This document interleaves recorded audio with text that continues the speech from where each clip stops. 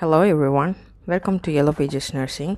In today's video, we will be discussing about drug calculation of injection diltiazem.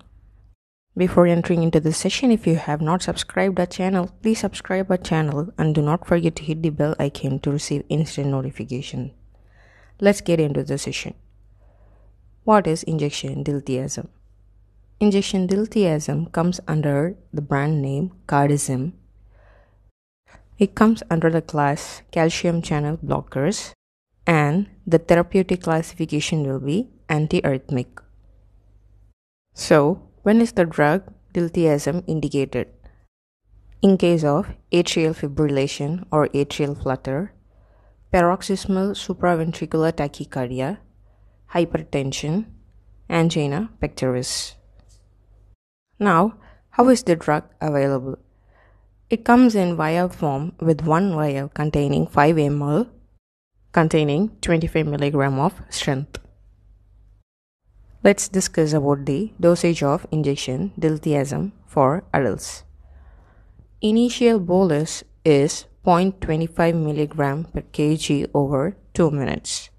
The second bolus is given only when necessary, which will be after 15 minutes of initial one and the dose will be 0.35 mg per kg over 2 minutes.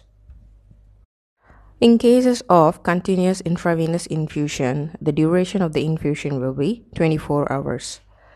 The recommended initial infusion rate of diltiazem injection is 10 mg per hour.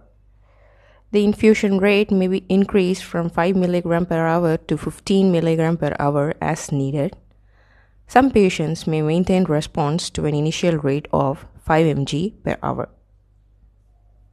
Now, how do we prepare the infusion? The IV compatible solutions for diluting injection diltiazem are dextrose 5%, normal saline 0.9%, and normal saline 0.45%. Now, for a standard infusion of injection diltiazem, we mix 5 vials of injection diltiazem that is 25 mg in 5 ml in 100 ml normal saline.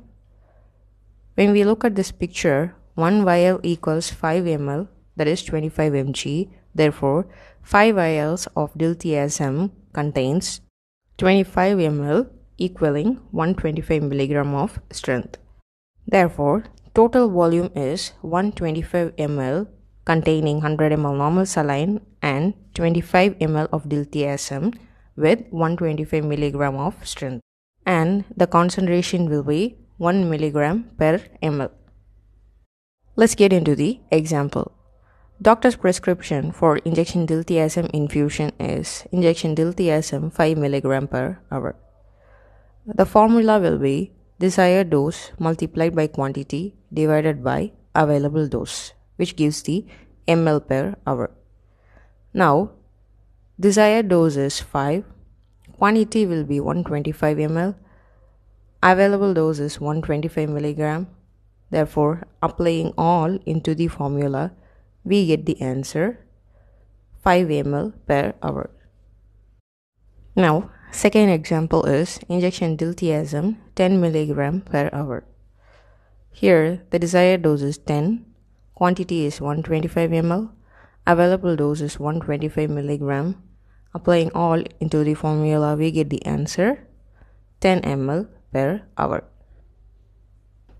Next example injection diltiazem 15 mg per hour. Desired dose is 15. Quantity is 125 ml. Available dose is 125 mg. Applying all into the formula, we get the answer 15 ml per hour. The calculation will be very easy if the drug is prepared as mentioned before in the standard infusion with 5 vials of injection diltiazem diluted in 100 ml NS. Next comes the nursing consideration while infusing injection diltiazem. Monitor BP and pulse prior to therapy during dose titration and periodically during therapy. Monitor intake and output and daily weight. Check for the signs of heart failure such as peripheral edema, crackles, dyspnea, weight gain, and jugular venous distension. Patients receiving digoxin concurrently with calcium channel blockers should be monitored for the serum digoxin levels. Also, monitor for signs and symptoms of digoxin toxicity. Generally, serum calcium concentrations are not affected by calcium channel blockers. But it's very important to monitor serum potassium periodically because hypokalemia increases the risk of arrhythmias and hence should be corrected. So this is all about drug calculation of injection diltiazem. If you find this video useful, please like it and please subscribe it and do not forget to hit the bell icon to receive instant notifications. Thanks for watching and have a nice day.